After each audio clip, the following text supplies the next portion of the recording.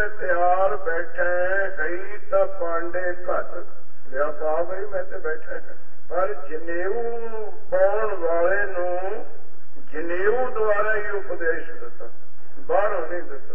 ਹਰਦੁਆਰ ਗਏ, ਸ੍ਰੀ ਗੁਰੂ ਨਾਨਕ ਦੇਵ ਮਹਾਰਾਜ ਬ੍ਰਾਹਮਣਾਂ ਦਾ ਸੰਸਕਾਰ ਗਏ, ਕਰਮ ਗਏ, ਸੂਰਜ ਨੂੰ ਪਾਣੀ ਦੇਣਾ।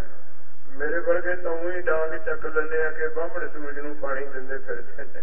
ਉਹਦੇ ਵਿੱਚ ਵੀ ਕੋਈ ਕਾਰਨ ਹੈ। ਪਰ ਦੁੱਖ ਦੀ ਗੱਲ ਹੈ, ਕਾਰਨ ਤਾਂ ਆਪਾਂ ਲੱਭਣਾ ਹੀ ਨਹੀਂ, ਟੀਕਾ ਹੀ ਲਾ ਦੇਣਾ ਜਿੱਥੇ ਹੋ ਸਕਦਾ ਆਪਾਂ ਬਿਮਾਰੀ ਤਾਂ ਕੁਛ ਨਹੀਂ ਨਾ ਹੋਈ ਸੂਰਜ ਨੂੰ ਬ੍ਰਾਹਮਣ ਪਾਣੀ ਕਿਉਂ ਦਿੰਦੇ ਨੇ?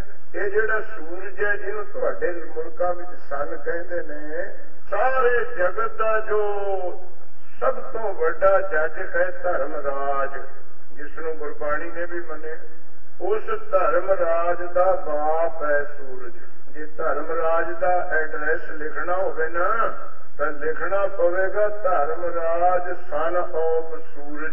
ਇਹ ਸੂਰਜ ਐਵੇਂ ਨਹੀਂ ਵੀ ਤੱਤਾ ਹੀ ਰੱਖਣ ਵਾਸਤੇ ਹੈ। ਧਰਮ ਰਾਜ ਸੂਰਜ ਦਾ ਪੁੱਤਰ ਹੈ। ਕਿਸੇ ਤੋਂ ਨਹੀਂ ਪੁੱਛਣੀ ਇਹ ਗੱਲ ਸ੍ਰੀ ਗੁਰੂ ਗ੍ਰੰਥ ਸਾਹਿਬ ਜੀ ਤੋਂ ਬਾਹਰਲੇ ਪ੍ਰਮਾਣ ਦੇਣੇ ਪੈਂਦੇ ਨੇ। ਪਰ ਲੋੜੇ ਨਹੀਂ ਗਏ ਜਿੱਥੇ ਸਮੁੰਦਰ ਹੋਵੇ, ਉੱਥੇ ਨਦੀਆਂ ਦੀ ਕੀ ਲੋੜ? ਲੋੜ ਨਦੀਆਂ ਦੀ ਤਾਂ ਪੈਂਦੀ ਹੈ, ਨਹਿਰਾਂ ਦੀ ਤਾਂ ਪੈਂਦੀ ਹੈ, ਕਿ ਜਾ ਕੇ ਦੂਰ ਦੂਰ ਦੇ ਖੇਤਾਂ ਨੂੰ ਵੀ ਪਾਣੀ ਦਿੱਤਾ ਜਾ ਸਕੇ। ਸਮੁੰਦਰ ਸਿੱਧਾ ਖੇਤ ਨੂੰ ਨਹੀਂ ਸਿੰਜ ਸਕਿਆ ਸਕਦਾ। ਉਹਦੇ ਵਿੱਚੋਂ ਨਹਿਰ ਕੱਢ ਕੇ, ਨਹਿਰ ਵਿੱਚੋਂ ਰਜਵਾਏ ਕੱਢ ਕੇ ਰਜਵਾਇਆਂ ਵਿੱਚੋਂ ਖਾਲੇ ਕੱਢ ਕੇ, ਤਾਂ ਖੇਤਾਂ ਤੱਕ ਪਾਣੀ ਪੁੱਜਿਆ ਕਰਦਾ ਇਹ ਸਮੁੰਦਰ ਹੈ। ਇਹਨੂੰ ਧਰਤੀ ਰੂਪੀ, ਸਰੀਰ ਰੂਪੀ, ਖੇਤਾਂ ਤੱਕ ਪਹੁੰਚਾਉਣ ਖਾਤਰ ਕੁਝ ਪ੍ਰਮਾਣ ਕਿਉਂਕਿ ਸ਼ਾਸਤਰ ਕਹਿੰਦਾ ਬਿਨਾ ਪ੍ਰਮਾਣ ਨਾ ਸਿੱਧੇ ਅਤੇ ਪ੍ਰਮਾਣ ਤੋਂ ਬਿਨਾ ਕਿਸੇ ਗੱਲ ਦੀ ਸਿੱਧੀ ਨਹੀਂ ਮੰਨੀ ਜਾਂਦੀ। ਸ੍ਰੀ ਗੁਰੂ ਗ੍ਰੰਥ ਸਾਹਿਬ ਜੀ ਦੀ ਅਗਵਾਹੀ ਲਓ, ਰੱਬ ਕੇ ਸੁਤ ਕੋ ਤਿਨ ਤਰਾਸ, ਕਹਾ ਜੋ ਚਰਨ ਗੁਰੂ ਚਿਤ ਲਾਭਤ ਹੈ। ਰੱਬ ਕੇ ਸੁਤ ਕੋ, ਰੱਬ ਕਹੀਏ ਸੂਰਜ ਸੁਤ ਕਹੀਏ ਪੁੱਤਰ, ਸ੍ਰੀ ਗੁਰੂ ਗ੍ਰੰਥ ਸਾਹਿਬ ਜੀ ਦਾ ਬਚਨ ਹੈ, ਜੋ ਸੂਰਜ ਦਾ ਪੁੱਤਰ ਧਰਮ ਰਾਜ ਹੈ ਨਾ ਜੀ, ਤੋਂ ਡਰ ਰਹੀ ਹੈ ਦੁਨੀਆ। ਜੋ ਸ੍ਰੀ ਗੁਰੂ ਗ੍ਰੰਥ ਸਾਹਿਬ ਜੀ ਦੇ ਚਰਨਾਂ ਨਾਲ ਜੁੜ ਜਾਣਗੇ, ਉਹਨਾਂ ਨੂੰ ਸੂਰਜ ਦੇ ਪੁੱਤਰ ਧਰਮ ਰਾਜ ਦਾ ਕੋਈ ਡਰ ਨਹੀਂ ਹੋਵੇਗਾ। ਰੱਬ ਕੇ ਸੁਧ ਕੋ ਦਿਨ ਤਰਾਸ਼ ਕਰ ਦੂਜਾ ਪ੍ਰਮਾਣ ਲਓ, ਸੋ ਨਾਮ ਸੁਣੇ, ਸੁਤ ਭਾਨ ਡਰਿਓ। ਉਸ ਵਾਹਿਗੁਰੂ ਦਾ ਨਾਮ ਸੁਣ ਕੇ ਭਾਨ ਕਹੀਏ, ਸੂਰਜ ਦਾ ਪੁੱਤਰ ਧਰਮ ਰਾਜ ਵੀ ਡਰਦਾ ਹੈ। ਲਿਖਿਆ ਕੋ ਸਤਨਾਮ ਇਹ ਬ੍ਰਾਹਮਣ ਕਿਉਂ ਪਾਣੀ ਦਿੰਦੇ ਨੇ ਸੂਰਜ ਨੂੰ? ਇਹ ਕਹਿੰਦੇ, ਸਾਡੇ ਪਿੱਤਰ ਧਰਮਰਾਜ ਕੋਲ ਫਸੇ ਹੋਏ ਨੇ। ਕਿਉਂਕਿ ਉੱਥੇ ਤਾਂ ਲੇਖਾ ਹੋਣਾ ਹੀ ਹੈ। ਹੁਣ ਧਰਮਰਾਜ ਤਾਂ ਕਹਿੰਦੇ ਦਿਖਦਾ ਨਹੀਂ, ਉਹਦਾ ਬਾਪੂ ਦਿਖਦਾ, ਉਹਦੇ ਬਾਪੂ ਦੀ ਸੇਵਾ ਕਰੋ ਤੇ ਉਹਦਾ ਪੁੱਤਰ ਥੋੜੀ ਬਹੁਤੀ ਸਾਡੇ ਬਾਪੂਆਂ ਨੂੰ ਰਿਆਇਤ ਕਰ ਦੂਗਾ ਕਿੰਨੀ ਸਿਆਣੀ ਗੱਲ ਹੈ। ਉਹ ਫਸੇ ਬੈਠੇ ਨੇ ਅੱਗੇ ਲੇਖਾ ਦੇਣ ਨੂੰ। ਉਹਦੇ ਬਾਪੂ ਦੀ ਸੇਵਾ ਕਰੋ ਤੇ ਸਾਨੂੰ ਥੋੜਾ ਬਹੁਤਾ ਸਾਡੇ ਮਾਤਾ ਪਿਤਾ ਨੂੰ ਚੰਗੀ ਗੱਲ ਹੈ, ਸਾਡੇ ਨਾਲੋਂ ਚੰਗੀ ਗੱਲ ਹੈ। ਉਹ ਬਾਹਮਣ ਤਾਂ ਮਰੇ ਹੋਏ ਮਾਂ ਬਾਪਾਂ ਨੂੰ ਵੀ ਛਡਾਉਂਦੇ ਫਿਰਦੇ ਨੇ ਧਰਮਰਾਜ ਤੋਂ।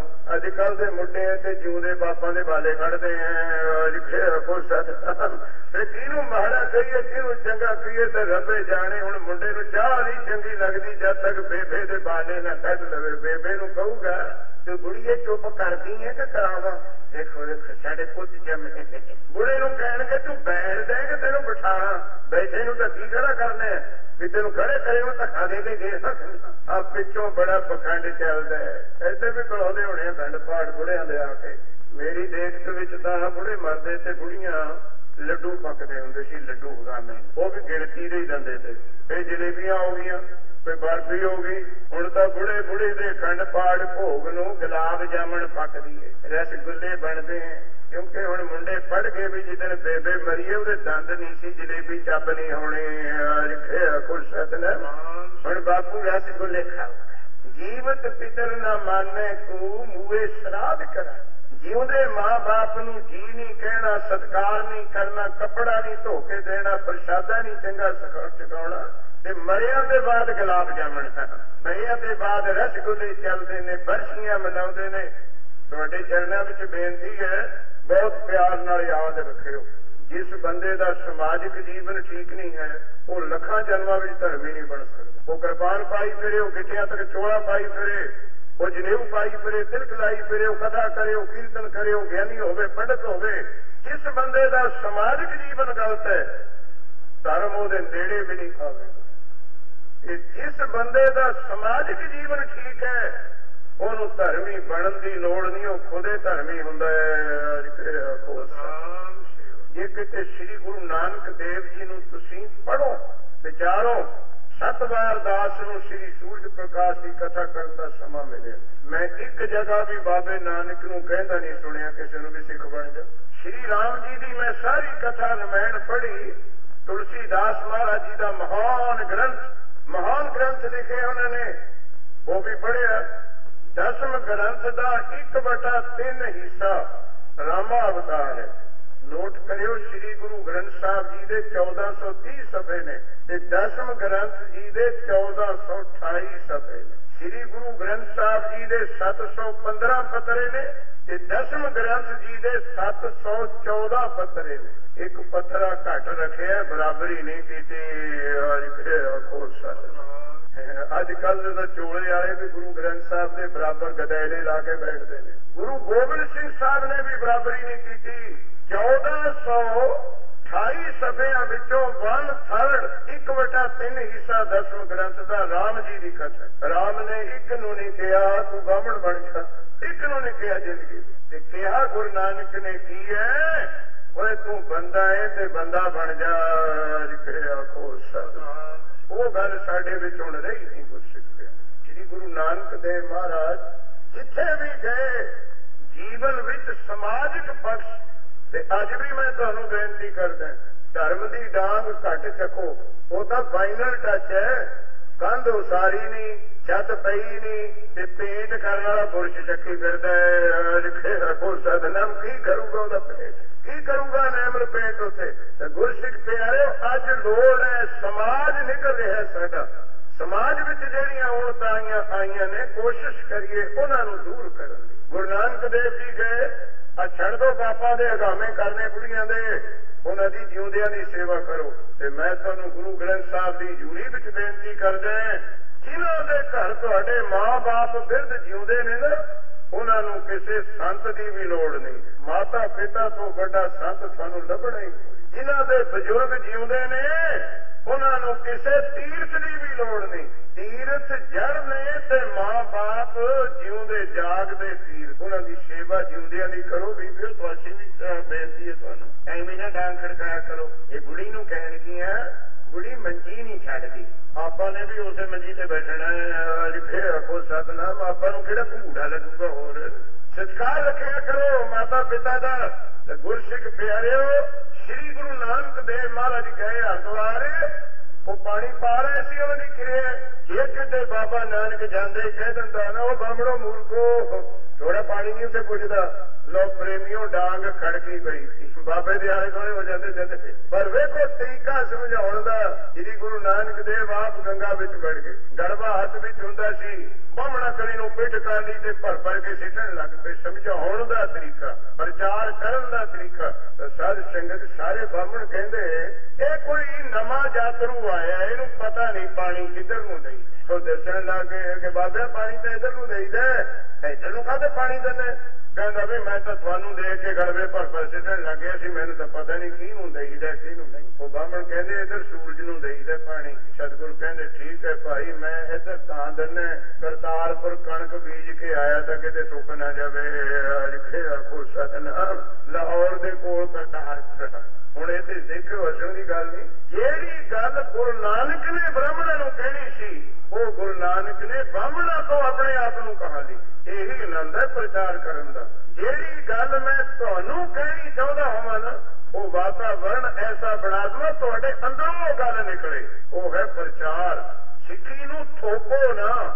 ਜ਼ਬਰਦਸਤੀ ਕਿਸੇ ਨੂੰ ਸਿੱਖੀ ਨਾ ਦਿਓ ਅੰਮ੍ਰਿਤ ਛਕਾਉਣ ਦਾ ਕੀ ਨਾਂ ਸੀ ਹੁਣ ਤਾਂ ਕੁਝ ਰੱਖ ਲਓ ਅੰਮ੍ਰਿਤ ਅਬਲਾਖੀ ਜਿਹਦੇ ਅੰਦਰ ਅੰਮ੍ਰਿਤ ਛਕਣ ਦੀ ਅਬਲਾਖਾ ਪੈਦਾ ਹੋਵੇ ਇੱਛਾ ਪੈਦਾ ਹੋਵੇ ਉਹਨੂੰ ਛਕਾਓ ਨਾ ਕਿ ਹੁਣ ਦੁੱਖ ਤਾਂ ਮੰਨੇ ਉਹਨਾਂ ਜੀਮਾ ਸਾਹਿਬ ਵੀ ਬੈਠੇ ਹੈ ਹੁਣ ਤਾਂ ਇੱਥੇ ਸਟੇਜ ਤੇ ਕਹਿੰਦੇ ਆ ਤੂੰ ਅੰਮ੍ਰਿਤ ਛਕ ਲੈ ਤੈਨੂੰ ਕਿਸ਼ਹਿਰਾ ਮੁਕਤ ਦਵਾਂਗੇ ਵਾਹ ਤੈਨੂੰ ਕੜਾ ਮੁਕਤ ਦਵਾਂਗੇ, ਕਿਰਪਾ ਕਰਕੇ ਛਕ ਕੜੇ ਪਿੱਛੇ ਅੰਮ੍ਰਿਤ। ਤੈਨੂੰ ਕੰਗਾ ਵੀ ਦਵਾਂਗੇ, ਕਿਉਂਕਿ 25 ਸੈਂਟ ਦਾ ਹੁੰਦਾ ਨਾ ਲਿਖੇ ਫੁਰਸਤ ਔਰ ਮਿੰਤਾ ਕਰਨ ਦੇ ਨੇ, ਤੈਨੂੰ ਕਿਸ਼ਹਿਰੇ ਦੰਨੇ ਹੈ ਤੈਨੂੰ। ਉਹ ਗੁਰੂ ਗੋਬਿੰਦ ਸਿੰਘ ਕਹਿੰਦਾ, ਆ ਸਿੱਖਾ ਜੇ ਅੰਮ੍ਰਿਤ ਛਕਣਾ ਤੇਰਾ ਸਿਰ ਵੱਢੂਗਾ। ਕਿੱਥੇ ਪੁੱਜ ਗਏ ਅਸੀਂ ਗੁਰਸਿੱਖ ਪਿਆਰੇ। ਤੇ ਭਾਈ ਦਇਆ ਸਿੰਘ ਕਹਿੰਦਾ, ਤੈਨੂੰ ਅੰਮ੍ਰਿਤ ਸਾਡਾ ਸਿਰ ਵੱਢੇ ਤੇ ਤੂੰ ਹੱਥ ਬੰਨ ਕੇ ਮੰਗੇ। ਤੇ ਬਾਜਾਂ ਵਾਲੇ ਕਹਿੰਦੇ ਸਰਬੰਸੇ ਦੇ ਦੂੰਗਾ ਛਕਾ ਦੇ। ਕੋ ਸਤਨਾਮ। ਅਬਲਾਖਾ ਪੈਦਾ ਹੋ ਨਾ ਅੰਦਰ ਅਬਲਾਖਾ ਸਤਿਗੁਰ ਪਾਤਸ਼ਾਹ ਜੀ ਕਹਿੰਦੇ, ਭਾਈ ਮੇਰੀ ਕਣਕ ਸੁੱਕਦੀ ਸੀ। ਤੇ ਜਿਹੜੀ ਗੱਲ ਗੁਰੂ ਨਾਨਕ ਨੇ ਕਹਿਣੀ ਸੀ ਨਾ ਵੀ ਸੂਰਜ ਤੱਕ ਪਾਣੀ ਨਹੀਂ ਪੁੱਜਦਾ, ਬਾਹਮਣਾ ਤੋਂ ਕਹਾ ਲਈ ਵੀ ਕਰਤਾਰਪੁਰ ਪਾਣੀ ਨਹੀਂ ਪੁੱਜਣਾ, ਉਹ ਤਾਂ ਲਾਹੌਰ ਕੋਲ। ਉਹ ਬਾਬਿਆ ਕਿਤੇ ਹਰਦੁਆਰ ਕਿਤੇ ਤੇਰਾ ਕਰਤਾਰਪੁਰ? ਧੰਨ ਗੁਰੂ ਨਾਨਕ ਪਾਤਸ਼ਾਹ ਕਹਿੰਦੇ, ਬ੍ਰਾਹਮਣੋ ਜੇ ਤੁਹਾਡਾ ਸੂਰਜ ਤੇ ਪੁੱਜ ਸਕਦਾ ਹੈ, ਮੇਰਾ ਕਰਤਾਰਪੁਰ ਵੀ ਪੁੱਜ ਸਕਦਾ 4 ਕਰੋੜ 21 ਲੱਖ ਮੀਲ ਦੇ ਨੇੜੇ ਸੂਰਜ ਦੀ ਉਚਾਈ ਹੈ ਤੇ ਮੇਰਾ ਤਾਂ ਹਾਲ ਲਾਹੌਰ ਦੇ ਕੋਲ ਖੜਾ 400 ਮੀਲ ਹੋਣਾ ਤੇ ਉੱਥੇ ਕਿਉਂ ਨਹੀਂ ਪੁੱਜੂ? ਜਿਸ ਨੂੰ ਵੀ ਗੁਰੂ ਨਾਨਕ ਨੇ ਸਮਝਾਇਆ, ਉਹਦੇ ਧਰਮ ਵਿੱਚੋਂ ਸਮਝਾਇਆ। ਜੇ ਮੁਸਲਮਾਨ ਨੂੰ ਸਮਝਾਇਆ, ਤਾਂ ਪੰਜਾਂ ਨਿਵਾਜਾਂ ਦੀ ਉਹਨੂੰ ਸਿੱਖਿਆ ਦਿੱਤੀ। ਜਪਜੀ ਨਹੀਂ ਸੁਣਾਈ ਉਹਨੂੰ ਉਹਨੂੰ ਸੋਦਰ ਨਹੀਂ ਸੁਣਾਇਆ। ਪੰਜ ਨਿਵਾਜਾਂ ਵਕਤ ਪੰਜ ਤੇ ਕੱਲੀ ਕੱਲੀ ਨਿਵਾਜ ਤੇ ਧੰਨ ਗੁਰੂ ਨਾਨਕ ਪਾਤਸ਼ਾਹ ਦੇ ਆਉਣ ਸਮੇਂ ਚਾਰ ਮਤ ਸੀ ਸਾਡੇ ਦੇਸ਼ ਵਿੱਚ। ਜਿਨ੍ਹਾਂ ਚਾਰਾਂ ਦੀ ਗੱਲ ਗੁਰੂ ਨਾਨਕ ਨੇ ਜਪਜੀ ਸਾਹਿਬ ਦੀ ਪਹਿਲੀ ਪੌੜੀ ਵਿੱਚ ਕੀਤੀ। ਸਭ ਤੋਂ ਪਹਿਲਾ ਮਤ ਸੀ ਸੋਧੀਆਂ ਦਾ, ਪਵਿੱਤਰਤਾ ਰੱਖਣ ਵਾਲੇ, ਸੁੱਚ ਰੱਖਣ ਵਾਲੇ। ਤੇ ਸਭ ਤੋਂ ਪਹਿਲੀ ਤੁਗ ਜਪਜੀ ਸਾਹਿਬ ਦੀ ਸੋਧ ਵਾਲੇ, ਸੋਧੀਆਂ ਵਾਸਤੇ ਉਚਾਰੀ ਹੈ ਸੋਚੈ, ਸੋਚ ਨਾ ਹੋਵਈ, ਜੇ ਸੋਚੀ ਲੱਖ ਵਾਰ। ਸੋਚਣਾ ਮੈਂ ਦੇ ਵਿੱਚ ਪਵਿੱਤਰਤਾ ਦਾ ਇਸ਼ਨਾਨ ਦਾ। ਸਤਿਗੁਰ ਪਾਤਸ਼ਾਹ ਕਹਿੰਦੇ, ਤੀਰਥਾਂ ਤੇ ਨਹਾਈ ਜਾਓ, ਅਲੱਗ ਰਹੋ ਦੁਨੀਆ ਤੋਂ, ਰੋਟੀ ਵੀ ਆਪਣੇ ਹੱਥ ਦੀ ਪਕਾ ਕੇ ਖਾਓ, ਕੱਪੜਾ ਵੀ ਕਿਸੇ ਤੋਂ ਨਾ ਧੋਓ ਕਿਸੇ ਦੇ ਬਿਸਤਰੇ ਤੇ ਨਾ ਬੈਠੋ। ਇਹ ਲੱਖਾਂ ਵਾਰ ਇਸ਼ਨਾਨ ਕਰਨ ਤੋਂ ਤੁਹਾਡੇ ਮਨ ਦੇ ਇਸ਼ਨਾਨ ਨਹੀਂ ਹੋਣੇ। ਮਨ ਦੀ ਪਵਿੱਤਰਤਾ ਨਹੀਂ ਹੋਣੀ। ਕਿਉਂਕਿ ਮਨ ਤੱਕ ਪਾਣੀ ਦੀ ਪਹੁੰਚ ਨਹੀਂ ਹੈ। ਪਾਣੀ ਮਾਦਾ ਹੈ, ਪ੍ਰਕਿਰਤੀ ਹੈ। ਤੇ ਪ੍ਰਕਿਰਤੀ ਮਨ ਤੱਕ ਪੁੱਜ ਨਹੀਂ ਸਕਦੀ, ਤੁਸੀਂ ਤਾਂ ਅਮਰੀਕਾ 'ਚ ਬੈਠੇ ਹੋ, ਬੜਾ ਐਡਵਾਂਸ ਕੰਟਰੀ ਹੈ। ਜਦੋਂ ਐਕਸ-ਰੇ ਹੁੰਦਾ ਹੈ ਹਸਪੀਟਲ ਦੇ ਵਿੱਚ 4 ਇੰਚ ਮੋਟਾ ਫੱਟਾ ਹੁੰਦਾ ਜਿਸ ਉੱਤੇ ਬਿਮਾਰ ਨੂੰ ਪਾਇਆ ਜਾਂਦਾ ਉਹਦੇ ਆਲੇ ਦੁਆਲੇ ਸਟੀਲ ਲੱਗਿਆ ਹੁੰਦਾ ਤੇ ਸਟੀਲ ਦੇ ਹੇਠ ਬਾਕਸ ਬਣਿਆ ਹੁੰਦਾ ਬਾਕਸ ਦੇ ਵਿੱਚ ਜਿਹੜੀ ਫਿਲਮ ਪਾਈ ਜਾਂਦੀ ਹੈ, ਉਹ ਵੀ ਕਵਰਡ ਹੁੰਦੀ ਹੈ। ਉਹਦੇ ਉੱਤੇ ਵੀ ਲੋਹਾ ਹੁੰਦਾ ਹੈ, ਲੋਹੇ ਦੇ ਡੱਬੇ ਵਿੱਚ ਹੁੰਦੀ ਹੈ। ਫਿਰ ਤਕਰੀਬਨ 1 ਫੁੱਟ, ਪੌਣਾ ਫੁੱਟ ਚੌੜਾਈ ਸਰੀਰ ਦੀ ਵੀ ਹੁੰਦੀ ਹੈ। ਜਿਹਦੇ ਵਿੱਚ ਨੂੰ ਬਿਜਲੀ ਦੀ ਰੇ, ਐਕਸ ਰੇ, ਐਕਸ ਹੁੰਦਾ ਕੱਟਣ ਵਾਲਾ ਰੇ ਕਹੀਏ ਕਿਰਨ, ਉਹ ਦੋ ਕਿਰਨਾਂ ਆਉਂਦੀਆਂ ਨੇ ਤੇ ਆਪਸ ਵਿੱਚ ਜਦੋਂ ਭਿੜਦੀਆਂ ਨੇ ਨਾ, ਐਕਸ ਬਣਦਾ ਹੈ। ਉੱਥੇ ਜਿਹੜਾ ਸਪਾਰਕ ਪੈਂਦਾ ਹੈ ਨਾ ਉਹਦੀ ਇੰਨੀ ਸ਼ਕਤੀ ਹੈ ਕਿ 1 ਫੁੱਟ ਮੋਟੇ ਸਰੀਰ ਵਿੱਚ ਨੂੰ 4 ਇੰਚ ਮੋਟੇ ਲੋਹੇ ਵਿੱਚ ਨੂੰ ਲੰਘ ਕੇ ਉਹ ਤਸਵੀਰ ਹੇਠ ਕੈਮਰੇ ਦੀ ਫਿਲਮ 'ਚ ਪਹੁੰਚਾ ਦਿੰਦੀ ਹੈ, ਤੁਸੀਂ ਖਿਚਾਉਨੇ ਦੇਖੋ ਕਿੰਨੀ ਸਟਰੋਂਗ ਹੈ ਉਹ।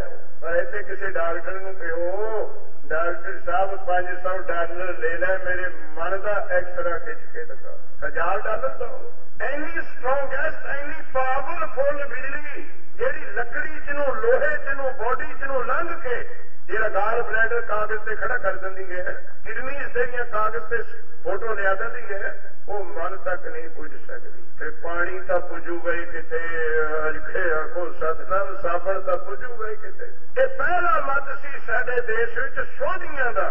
ਤੇ ਉਥੋਂ ਹੀ ਸ੍ਰੀ ਰਵਾਲਸਰ ਸਾਹਿਬ ਦੀ ਧਰਤੀ ਤੇ ਜਿਹੜੇ ਮਹਾਰਾਜੇ ਬਾਈ ਤਾਜ ਬੈਠੇ ਸੀ, ਆਪਣੇ ਆਪ ਨੂੰ ਉੱਚੇ ਸਮਝਣ ਵਾਲੇ, ਸੋਧੀਏ ਸਮਝਣ ਵਾਲੇ, ਜਾਤ ਪਾਤ ਦਾ ਮਾਣ ਕਰਨ ਵਾਲੇ ਕਿ ਅਸੀਂ ਅੰਮ੍ਰਿਤ ਦਾ ਛਕ ਲਵਾਂਗੇ।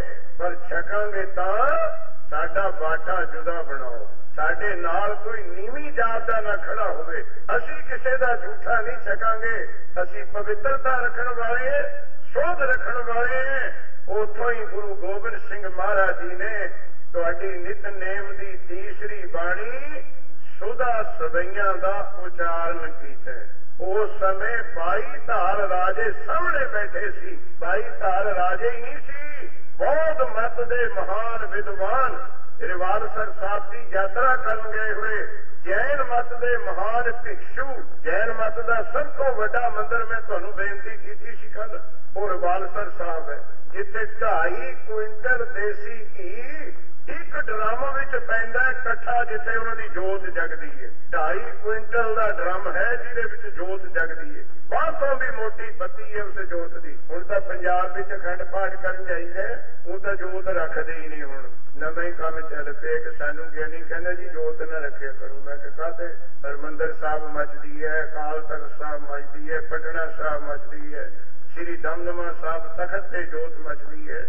ਹਜੂਰ ਸਾਹਿਬ ਸੱਚਖੰਡ ਮਚਦੀ ਹੈ ਜੋਤ। ਮੈਂ ਕਿਹਾ, ਕਾਹਤੇ? ਕਹਿੰਦੇ ਜੋਤਾਂ ਅੰਦਰੇ ਜਗਦੀਆਂ ਅੰਦਰੇ। ਮੈਂ ਕਿਹਾ 8 ਵਜੇ ਰਾਤ ਨੂੰ ਆਏਗਾ। ਕਹਿੰਦਾ ਜੀ, ਆ ਜਾਓ। ਆ ਗਿਆ। ਉਹਦੇ ਕੋਲ ਕਾਰ ਦੀ ਫੀਟ ਮੈਂ ਕਿਹਾ, ਚੱਲ ਚਲੀਏ, ਬਾਹਰ ਤੈਨੂੰ ਉੱਤਰ ਦਵਾਂਗੇ ਵੀ ਜੋਤ ਕਾਹਤੇ ਜਗਾਈ ਦੀ ਹੈ। ਉਹ ਬੜਾ ਚੌੜਾ ਹੋ ਕੇ ਬੈਠ ਗਿਆ। ਗਿਆਨਾ ਸੁਣ ਸੀ ਨਾ, ਗਿਆਨਾ ਸੂ ਬੌਰਨ ਗਿਆਨੀ ਸੀ। ਵੀ ਬਾਹਰ ਜਾ ਕੇ ਬਾਬਾ ਫਸੂਗਾ। ਮੈਨੂੰ ਜਵਾਬ ਕੀ ਦੇਣੇ ਨੇ? ਉਹ ਜਦੋਂ ਕਾਰ ਚਲਾਉਣ ਲੱਗੇ, ਉਹਨੇ ਲਾਈਟ ਬਚਾਉਣੀਆਂ ਸੀ। ਲਾਈਟਾਂ ਔਨ ਕਰ ਲਈਆਂ। ਮੈਂ ਕਿਹਾ, ਇਹ ਕਾਹਤੇ ਕੀਤੀਆਂ ਕਹਿੰਦਾ ਇਹ ਵੀ ਪੁੱਛਣ ਵਾਲੀ ਗੱਲ ਹੈ ਰਾਤ ਨੂੰ ਲਾਈਟਾਂ ਦਿਖਾਉਣ ਮੈਂ ਕਿਹਾ, ਤੂੰ ਤਾਂ ਕਹਿੰਦਾ ਜੋਤਾਂ ਅੰਦਰੇ ਜਗਦੀਆਂ ਅੱਜ ਫੇਰ ਅਖੋ ਸਤਨਾਮ। ਜੇ ਅੰਦਰ ਜਗਦੀਆਂ ਤੇ ਹੁਣ ਲਾਈਟਾਂ ਘਰੋਂ ਮਚਾਉਣ ਦੇ? ਚੱਲਣ ਤੇ ਗੱਡੀ। ਲਿਆ ਇੱਥੇ ਤੇਰੀ ਅੰਦਰ ਕਿਹੜੀ ਜੋਤ ਹੈ ਗੁਰਸਿੱਖ ਪਿਆਰਿਓ? ਅਸੀਂ ਚੜ੍ਹਦੀ ਮਰਜ਼ਾਦਾ, ਮੇਰਾ ਭਾਵ ਇਹ ਨਹੀਂ ਕਿ ਤੁਸੀਂ ਰੱਖੋ ਜਾਂ ਨਾ ਰੱਖੋ। ਉਹ ਮੇਰਾ ਸਬਜੈਕਟ ਨਹੀਂ ਹੈ ਉਹ ਸਾਰੇ ਪੰਥ ਦਾ ਸਬਜੈਕਟ ਹੈ। ਸਾਰੀਆਂ ਸੰਪਰਦਾਵਾਂ ਦਾ ਜੋ ਸ੍ਰੀ ਅਕਾਲ ਤਖਤ ਸਾਹਿਬ ਹੁਕਮ ਕਰਨਗੇ, ਠੀਕ ਹੈ। ਇੱਕ ਮੈਂ ਥੋੜੀ ਜੀ ਟੂਕ ਦੇਣ ਲੱਗਿਆ ਥੋੜਾ ਵਹਿਮ ਕੱਢਣ ਵਾਸਤੇ। ਆ ਜਿਹੜੀ ਸਾਡੀ ਸ਼੍ਰੋਮਣੀ ਕਮੇਟੀ ਦੀ ਇੱਕ ਮਰਜ਼ਾਦਾ ਛਪੀ ਹੋਈ ਹੈ ਨਾ, ਇੱਥੇ ਵੀ ਹੈਗੀ। ਉਹ ਵੰਡਦੇ ਵੀ ਫਿਰਦੇ ਨੇ ਕਈ, ਤੇ ਦਾਸ ਐਜੀਪੀਸੀ ਦਾ ਮੈਂਬਰ ਹੈ, ਤੁਹਾਨੂੰ ਪਤਾ ਹੀ ਹੈ। ਮੈਨੂੰ ਸੇਵਾ ਬਖਸ਼ੀ ਹੋਈ ਹੈ ਉਹਨਾਂ ਨੇ। ਇਹ ਜਿਹੜੀ ਮਰਜ਼ਾਦਾ ਹੈ ਨਾ, ਇਹ ਖਰੜਾ ਹੈ। ਇਹ ਸ੍ਰੀ ਅਕਾਲ ਤਖਤ ਸਾਹਿਬ ਤੋਂ ਪ੍ਰਵਾਨ ਨਹੀਂ ਹੋਈ ਹੋਈ, ਕਿਤੇ ਤੁਹਾਨੂੰ ਵਹਿਮ ਹੋਵੇ। ਇਹ ਅਜੇ ਪ੍ਰਵਾਨ ਹੋਣ ਵਾਸਤੇ ਖਰੜਾ ਤਿਆਰ ਕੀਤਾ ਹੋਵੇ ਤੇ ਤੁਹਾਡੇ ਵਿੱਚ ਕਿਸੇ ਕੋਲ ਕਾਪੀ ਹੋਵੇ ਨਾ ਉਹਨੂੰ ਗੌਰ ਨਾਲ ਪੜਿਓ ਕੱਲ ਨੂੰ ਤੇ ਮੇਰੇ ਨਾਲ ਵਿਚਾਰ ਵਟਾਂਦਰਾ ਜਦ ਮਰਜ਼ੀ ਕਰ ਸਕਦੇ। ਉਹ ਅਜੇ ਸ੍ਰੀ ਅਕਾਲ ਤਖਤ ਸਾਹਿਬ ਤੋਂ ਪ੍ਰਵਾਨ ਹੀ ਨਹੀਂ ਹੈ? ਉਹ ਜਾਣੀ ਸੀ ਪ੍ਰਵਾਨ ਹੋਣ ਵਾਸਤੇ ਕਿ ਆਪਸ ਵਿੱਚ ਮਤਭੇਦ ਹੋਣ ਕਰਕੇ ਉਹ ਅਜੇ ਖਰੜੇ ਦਾ ਖਰੜਾ ਹੀ ਹੈ ਫੇਰ ਹੋ ਸਕਦਾ ਤੇ ਸਾਡੇ ਕਈ ਗਿਆਨੀ ਇੱਥੇ ਕਾ ਬੋਲਣਗੇ, ਇਹ ਅਕਾਲ ਤਖਤ ਦੀ ਮਰਜ਼ਾਦਾ ਜੀ। ਦੱਸੋ ਕਿੱਥੇ ਅਕਾਲ ਤਖਤ ਦੀ ਮਰਜ਼ਾਦਾ? ਜੇ ਇੱਥੇ ਹੁਣ ਕੋਈ ਮੀਟਿੰਗ ਹੋ ਜਵੇ ਨਾ, ਬੈਠ ਕੇ ਮੀਟਿੰਗ ਕਰ ਸਕਦੇ ਨੇ ਬੰਦੇ। ਉਸ ਮੀਟਿੰਗ ਵਿੱਚ ਜਿਹੜੀ ਵਿਚਾਰ ਹੋਵੇ, ਉਹ ਰਿਚਮੰਡ ਗੁਰਦੁਆਰੇ ਦੀ ਵਿਚਾਰ ਥੋੜਾ ਹੋ ਸਕਦੀ ਹੈ। ਉਹਨੂੰ ਅਸੀਂ ਕਦੇ ਨਹੀਂ ਕਹਿ ਸਕਦੇ ਰਿਚਮੰਡ ਗੁਰਦੁਆਰੇ ਦੀ ਵਿਚਾਰ ਹੈ ਹਾਂ ਉਹ ਵਿਚਾਰ ਤੇ ਮੋਹਰ ਰਿਚਮੰਡ ਦੀ ਕਮੇਟੀ ਲਾਵੇ ਸਾਰੀ ਸੰਗਤ ਪ੍ਰਵਾਨ ਕਰੇ, ਫਿਰ ਤਾਂ ਕਹੀ ਜਾ ਸਕਦੀ ਹੈ ਕਿ ਮੈਂ ਮੰਨਦਾ ਕਿ ਉਸ ਖਰੜੇ ਦੀਆਂ ਮੀਟਿੰਗਾਂ ਅਕਾਲ ਤੱਕ ਸਭ ਹੋਈਆਂ, ਪਰ ਉਹ ਪ੍ਰਵਾਨਕ ਨਹੀਂ ਅਜੇ ਤੱਕ ਹੋ ਸਕਿਆ। ਉਹ ਖਰੜਾ ਹੈ ਗੁਰਸਿੱਖ ਪਿਆਰਿਓ, ਉਹਦੀ ਆੜ ਲੈ ਕੇ ਦੁੱਖ ਦਾ ਮਨਾਇਓ ਨਾ ਕਈਆਂ ਨੂੰ ਤੁਹਾਨੂੰ ਹੋਵੇਗਾ। ਉਹਨੂੰ ਤਾਂ ਚੱਕੀ ਫਿਰਦੇ ਆ ਕਈ ਤਾਂ ਸਿੱਖ, ਕਿਉਂਕਿ ਉਸ ਮਾਸ ਖਾਣ ਦੀ ਇਜਾਜ਼ਤ ਹੈ, ਅੱਜ ਫੇਰ ਸਤਨਾਮ। ਜ਼ਿਆਦਾ ਉਸ ਕਾਪੀ ਨੂੰ ਤਾਂ ਹੀ ਚੱਕੀ ਫਿਰਦੇ ਕਿਉਂਕਿ ਉਹਨਾਂ ਤੋਂ ਛੱਡ ਨਹੀਂ ਹੁੰਦੇ ਮੱਛੀ ਦੇ ਪਕੌੜੇ। ਉਹਨੇ ਤਾਂ ਤੜਕਾ ਚਮਕਾ ਕੇ ਛੱਡ ਨਹੀਂ ਹੁੰਦਾ, ਉਹ ਕਾਪੀ ਚੱਕੀ ਫਿਰਦੇ ਨੇ। ਹੋਰ ਭਾਵੇਂ ਉਹਦੀ ਗੱਲ ਮੰਨਣ, ਨਾ ਮੰਨਣ ਮਰਜ਼ਾਦਾ ਦੀ। ਪੰਜ ਬਾਣੀਆਂ ਭਾਵੇਂ ਨਾ ਪੜਦੇ ਹੋਣ, ਅੰਮ੍ਰਿਤ ਵੇਲੇ ਭਾਵੇਂ ਨਾ ਉੱਠਦੇ ਹੋਣ ਬਾਹਰ ਉਹ ਗੱਲ ਕਿ ਜਿਹੜੀ ਆਪਣੇ ਮਤਲਬ ਦੀ ਹੈ ਨਾ, ਵੀ ਛੱਕ ਲਿਆ ਕਰੋ ਘਰ ਬਣਾ ਕੇ। ਐਨੀ ਉਹ ਇੱਕ ਤੂਕੋ ਖਰੜਾ ਚੱਕੀ ਫਿਰਦੇ ਨੇ, ਅੱਜ ਕੋ ਸਤਨਾਮ। ਉਹਦੇ ਵਿੱਚ ਕੋਈ ਖਾਸ ਗੱਲ ਨਹੀਂ। ਤੇ ਇਹ ਹੁਣ ਚੱਲ ਰਿਹਾ ਵਿਚਾਰ, ਕਿਉਂਕਿ ਸਿੱਖ ਪੰਥ ਵਿੱਚ ਜਦੋਂ ਜਹਿਦ ਬਹੁਤ ਹੈ, ਤੁਹਾਨੂੰ ਪਤਾ ਹੈ, ਜਿਸ ਕਰਕੇ ਇਹ ਗੱਲ ਅਜੇ ਵਿੱਚੇ ਲਟਕ ਰਹੀ ਹੈ। ਮਹਾਰਾਜ ਕਿਰਪਾ ਕਰਨ, ਸਾਰੀਆਂ ਸੰਪਰਦਾਵਾਂ ਬੈਠਣ, ਸਾਰੇ ਸਾਡੇ ਤਖਤ ਸਾਹਿਬਾਂ ਦੇ ਜਥੇਦਾਰ ਸਾਹਿਬ ਬੈਠਣ ਇੱਕ ਮਰਜ਼ਾਦਾ ਹੋਵੇ ਸਾਰੇ ਸਿੱਖ ਜਗਤ ਦੀ, ਤੇ ਜਿੱਦਣ ਮਰਜ਼ਾਦਾ ਇੱਕ ਹੋ ਗਈ ਨਾ ਗੁਰਮਖੋ ਉਦਣ ਆਪਾਂ ਵੀ ਇੱਕ ਹੋ ਜਾਾਂਗੇ ਅੱਜ ਫੇਰ ਆਖੋ ਸਤ ਲੱਖਾਂ ਦੀ ਗਿਣਤੀ ਵਿੱਚ ਇਕੱਠ ਹੁੰਦਾ ਉੱਥੇ ਮੇਲੇ ਨੂੰ, ਤੇ ਸਾਧ ਸੰਗਤ ਉਦੋਂ ਫੇਰ ਜਦੋਂ ਕਿਹਾ, ਸਾਡਾ ਬਾਟਾ ਜੁਦਾ ਕਰ ਦੋ। ਹੁਣ ਵੀ ਬਾਟਾ ਜੁਦਾ ਤੇ ਬੜੀ ਬਦਕਿਸਮਤੀ ਹੈ ਸਿੱਖ ਕੌਮ ਦੀ। ਕਿ ਪੰਜ ਕਕਾਰਾਂ ਵਿੱਚ ਵੀ ਫ਼ਰਕ ਹੈ। ਇਹਦੇ ਨਾਲ ਬਦਕਿਸਮਤੀ ਕਿੱਥੇ ਹੋਵੇਗੀ ਇਹਦੇ ਨਾਲ ਮਾੜੇ ਦਿਨ ਕਾਦਾ ਹੋਣਗੇ ਕਿ ਪੰਜ ਬਾਣੀਆਂ ਨਿਤਨੇਮ ਵਿੱਚ ਵੀ ਫ਼ਰਕ ਕੋਈ ਕਹਿੰਦਾ ਤਿੰਨ ਪੜੋ ਜੀ, ਕੋਈ ਕਹਿੰਦਾ ਪੰਜ ਪੜੋ ਜੀ। ਦੇਖੋ ਕਿਤੇ ਨੂੰ ਤੁਰੇ ਫਿਰਦੇ ਨੇ। ਜਦ ਤੱਕ ਸਾਡਾ ਇਹ ਕੰਮ ਇੱਕ ਨਹੀਂ ਹੁੰਦਾ ਨਾ, ਇੱਕਾ ਬਾਣੀ, ਇੱਕ ਗੁਰ ਇੱਕੋ ਸ਼ਬਦ ਵਿੱਚ ਸਾਨੂੰ ਤਾਂ ਇੱਥੋਂ ਹੀ ਤੋਰਿਆ ਸੀ ਮਹਾਰਾਜ ਨੇ। ਆ ਸਾਡਾ ਲਾਣਾ ਘੱਟ ਨਹੀਂ ਕਿਤੇ ਮੈਂ ਤੁਹਾਨੂੰ ਕਹੀ ਜਾਵਾਂ। ਸਾਡੇ ਡੇਰਿਆਂ ਵਿੱਚ ਜਾ ਕੇ ਵੇਖੋ ਕੀ ਕੁਝ ਹੁੰਦਾ। ਕਿਸੇ ਡੇਰੇ ਵਿੱਚ ਅਖੰਡ ਪਾਠ ਹੋਰ ਤਰ੍ਹਾਂ ਦਾ ਹੁੰਦਾ ਕਿਸੇ ਅਰਦਾਸ ਹੋਰ ਤਰ੍ਹਾਂ ਦੀ ਹੁੰਦੀ ਹੈ, ਕਿਸੇ ਅੰਮ੍ਰਿਤ ਹੋਰ ਤਰ੍ਹਾਂ ਦਾ ਛਕਾਇਆ ਜਾਂਦਾ ਹੁਣ ਹਜੂਰ ਸਾਹਿਬ ਜਾਓ, ਨਾਲੇ ਸਾਡਾ ਤਖਤ ਹੈ। ਉੱਥੇ ਜਦੋਂ ਬੀਬੀਆਂ ਨੂੰ ਅੰਮ੍ਰਿਤ ਛਕਾਉਣਾ ਹੈ, ਉਹ ਖੰਡੇ ਬਾਟੇ ਤਾਂ ਨਹੀਂ ਛਕਾਉਂਦੇ। ਬੀਬੀਆਂ ਦਾ ਅੰਮ੍ਰਿਤ ਤਿਆਰ ਹੋਵੇਗਾ, ਬਾਟਾ ਪਰ ਕਿਰਪਾਨ ਨਾਲ ਹੋਵੇਗਾ, ਖੰਡੇ ਨਾਲ ਨਹੀਂ ਹੋਵੇਗਾ। ਸ਼ਾਇਦ ਤੁਹਾਡੇ ਨੋਟਸ ਵਿੱਚ ਨਾ ਹੋਵੇ ਗੱਲ। ਸੱਚਖੰਡ ਹਜੂਰ ਸਾਹਿਬ ਜਦੋਂ ਅੰਮ੍ਰਿਤ ਛਕਾਉਣੇ ਨਾ ਬੀਬੀਆਂ ਨੂੰ ਨਹੀਂ ਸਿੰਘਾਂ ਦੇ ਨਾਲ ਛਕਾ ਸਕਦੇ। ਸਿੰਘਾਂ ਨੂੰ ਖੰਡੇ ਦਾ ਤੇ ਬੀਬੀਆਂ ਨੂੰ ਕਿਰਪਾਨ ਦਾ ਲਿਖੇ ਰੱਖੋ ਸਤਨਾਮ। ਉਹ ਵੀ ਇੱਕ ਬਾਟਾ ਨਹੀਂ ਗੁਰਸਿੱਖ ਪਿਆ।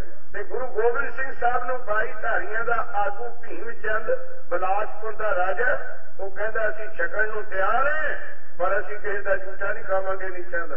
ਉਦੋਂ ਹੀ ਫਿਰ ਮਹਾਰਾਜ ਨੇ ਬਚਨ ਉਚਾਰੇ ਸੀ, ਉਹ ਬਾਦਸ਼ਾਹ ਭੀਮ ਚੰਦ ਜਿਨ ਕੀ ਜਾਤ ਗੋਤ ਕੁਲ ਮਾਹੀ ਸਰਦਾਰੀ ਨਾ ਭਈ ਕਦਾਹੀ। ਤਿਨਹੀ ਕੋ ਸਰਦਾਰ ਬਣਾਉ ਉਹ ਬਾਦਸ਼ਾਹ ਭੀਮ ਚੰਦਾ ਜਿਨ ਕੀ ਜਾਤ ਗੋਤ ਕੁਲ ਮਾਹੀ ਸਰਦਾਰੀ ਨਾ ਭਈ ਕਦਾਹੀ ਤਿਨਹੀ ਕੋ ਸਰਦਾਰ ਬਣਾਉ ਤਵੇ ਗੋਬਿੰਦ ਸਿੰਘ ਨਾਮ ਕਾ ਇਹ ਬਚਨ ਰਵਾਲਸਰ ਸਾਹਿਬ ਦਾ ਹੈ ਜੋ ਮੰਡੀ ਸਕੇਤ ਤੋਂ 25 ਮੀਲ ਦੀ ਉਚਾਈ ਤੇ 5000 ਫੁੱਟ ਉੱਚਾ ਪਹਾੜੀ ਦੇ ਉੱਤੇ ਤੀਰਥ ਹੈ ਮਹਾਨ ਤੀਰਥ ਜਿੱਥੇ ਸਹਿਬ ਸ੍ਰੀ ਗੁਰੂ ਗੋਬਿੰਦ ਸਿੰਘ ਮਹਾਰਾਜ ਜੀ 6 ਮਹੀਨੇ 6 ਮਹੀਨੇ ਇੱਕੋ ਜਗ੍ਹਾ ਰਵਾਲਸਰ ਸਾਹਿਬ, ਕਿਉਂਕਿ ਮੰਡੀ ਸਕੇਤ ਦਾ ਜਿਹੜਾ ਰਾਜਾ ਸੀ ਨਾ, ਉਹ ਇੱਕੋ ਇੱਕ ਰਾਜਾ ਸੀ 22 ਰਾਜਿਆਂ ਵਿੱਚੋਂ, ਜਿਹੜਾ ਸਤਗੁਰ ਗੁਰੂ ਅਰਜਨ ਦੇਵ ਜੀ ਤੋਂ ਰਾਜੀ ਹੋ ਕੇ ਗੁਰੂ ਦਾ ਸਿੱਖ ਬਣਿਆ ਸੀ, ਹਰੀ ਸੇਨ, ਜਿਹਨੂੰ 40 ਮਿੰਟ ਦੇ ਸੁਪਨੇ ਵਿੱਚ ਅੰਮ੍ਰਿਤਸਰ ਸਾਹਿਬ ਗੁਰੂ ਅਰਜਨ ਦੇਵ ਜੀ ਨੇ 40 ਸਾਲ ਦਾ ਜੀਵਨ ਕਟਾਇਆ ਸੀ। ਉਹ ਉਸੇ ਮੰਡੀ ਦਾ ਰਾਜਾ ਸੀ ਜਿੱਥੇ ਇਹ 10 ਸਵਈਏ ਉਚਾਰੇ ਨੇ। ਹਰੀ ਸੇਨ ਉਹਦਾ ਨਾਮ ਸੀ, ਉਹਦੀ ਕੁਲ ਗੁਰੂ ਗੋਬਿੰਦ ਸਿੰਘ ਸਾਹਿਬ ਦੀ ਸੇਵਕ ਸੀ। ਉਹਨਾਂ ਨੇ ਦੱਸਿਆ ਸੀ, ਮਹਾਰਾਜ, ਇਹ ਮੀਟਿੰਗ ਕਰਨ ਨੂੰ ਨਹੀਂ ਬੁਲਾ ਰਹੇ ਤੁਹਾਨੂੰ। ਇਹ ਤੁਹਾਨੂੰ ਗ੍ਰਿਫਤਾਰ ਕਰਨ ਖਾਤਰ ਬੁਲਾ ਰਹੇ ਉਹਦੇ ਪਿਆਰ ਦਾ ਹੀ ਸਦਕਾ 4 ਸਾਲ ਮਹਾਰਾਜ ਹਿਮਾਚਲ ਦੀ ਧਰਤੀ ਵਿੱਚ ਰਹੇ ਨੇ। ਕਦੇ ਤੁਹਾਨੂੰ ਕੁੱਲੂ ਜਾਣ ਦਾ ਸਮਾਂ ਮਿਲੇ, ਤਾਂ ਮੰਡੀ ਜਿਹੜਾ ਸ਼ਹਿਰ ਹੈ ਨਾ, ਉਸ ਤੋਂ 4 ਕਿਲੋਮੀਟਰ ਬਾਹਰ ਕੁੱਲੂ ਰੋਡ ਤੇ, ਬਿਆਸਾ ਦੇ ਕੰਢੇ ਤੇ ਦਸਮ ਪਾਤਸ਼ਾਹ ਜੀ ਦਾ ਗੁਰੂ ਗੁਰਦੁਆਰਾ ਸਾਹਿਬ ਹੈ। ਜਿਸ ਦਾ ਨਾਮ ਹੈ ਗੁਰਦੁਆਰਾ ਪਡਲ ਸਾਹਿਬ ਪਡਲ ਪਡਲ ਪਹਾੜੀ ਸ਼ਬਦ ਹੈ। ਚਾਰ ਚਵੇਰੇ ਪਹਾੜ ਹੋਣ ਤੇ ਗੱਭੇ ਜਗ੍ਹਾ ਪਈ ਹੋਵੇ ਨਾ, ਉਹਨੂੰ ਪਹਾੜੀ ਜ਼ਬਾਨ ਵਿੱਚ ਪਡਲ ਕਹਿੰਦੇ ਨੇ। ਜਿਹਨੂੰ ਆਪਾਂ ਮੈਦਾਨ ਕਹਿੰਦੇ ਪਡਲ ਦਾ ਅਰਥ ਹੈ ਮੈਦਾਨ। ਉਸ ਗੁਰਦੁਆਰੇ ਦਾ ਨਾਮ ਹੈ ਪਡਲ ਸਾਹਿਬ। ਉੱਥੇ ਗੁਰੂ ਮਹਾਰਾਜ ਦੀਆਂ ਤਿੰਨ ਚੀਜ਼ਾਂ ਪਈਆਂ ਨੇ, ਗੁਰੂ ਗੋਬਿੰਦ ਸਿੰਘ ਸਾਹਿਬ ਜੀ ਦੀਆਂ। ਇੱਕ ਪਲੰਗ ਪਿਆ ਜਿਹੜਾ ਮੰਡੀ ਦੇ ਰਾਜੇ ਨੇ ਮਹਾਰਾਜ ਦੇ ਬਰਾਜਣ ਵਾਸਤੇ ਬਣਾਇਆ ਸੀ। ਇੱਕ 22 ਸ਼ੇਰ ਪੱਕੀ, ਜਿਹੜੇ ਪੱਕੇ ਸ਼ੇਰ ਹੁੰਦੇ ਸੀ, ਮਤਲਬ 20 ਕਿਲੋ ਦੀ। ਦੀ ਬੰਦੂਕ ਪਈ ਹੈ ਉੱਥੇ ਗੁਰੂ ਗੋਬਿੰਦ ਸਿੰਘ ਮਹਾਰਾਜ ਦੀ। ਇੱਕ ਮਹਾਰਾਜ ਦਾ ਸਾਜ ਪਿਆ ਉੱਥੇ ਹੁਣ ਵੀ ਤੇ ਇੱਕ ਸਿੱਖ ਆਇਆ, ਉਹਨੇ ਮਹਾਰਾਜ ਨੂੰ 22 ਸ਼ੇਰ ਪੱਕੇ ਦੀ ਵਜਨ ਦੀ ਬੰਦੂਕ ਪੇਸ਼ ਕੀਤੀ। ਕੋਲ ਬੈਠਾ ਸੀ ਰਾਜਾ ਮੰਡੀ ਦਾ, ਸੰਗਤ ਬੈਠੀ ਸੀ। ਸਿੱਖ ਕਹਿੰਦਾ, ਮਹਾਰਾਜ, ਇਹਨੂੰ ਪਰਖ ਕੇ ਵੇਖੋ। ਮਹਾਰਾਜ ਕਹਿੰਦੇ, ਜਾ ਰਾਜੇ, ਆਪਣਾ ਸੇਵਕ ਭੇਜ। ਇਸ ਬਿਆਸਾ ਦੇ 1 ਕਿਲੋਮੀਟਰ ਦੂਰ ਜਾ ਕੇ ਇੱਕ ਹਾਂਡੀ ਵੱਡੀ ਹਾਂਡੀ ਵੱਡੀ ਤੌੜੀ ਨੂੰ ਕਹਿੰਦੇ, ਉਹ ਮੂਦੀ ਮਾਰਦੇ, ਪਾਣੀ ਪਰ ਤਰੀ ਆਵੇ।